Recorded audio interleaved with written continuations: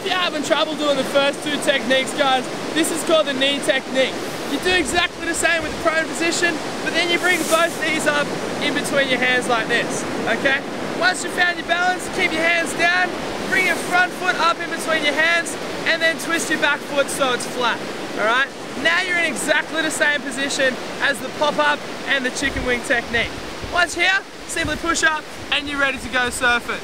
Woo!